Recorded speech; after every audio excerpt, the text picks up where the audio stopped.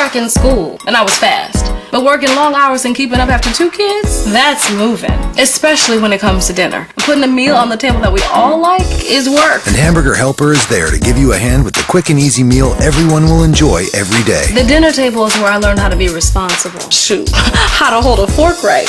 Teaching them right from wrong. That's my job. She may not be a rock star anymore, but she's a star in their eyes. Hamburger Helper. One pound, one pan.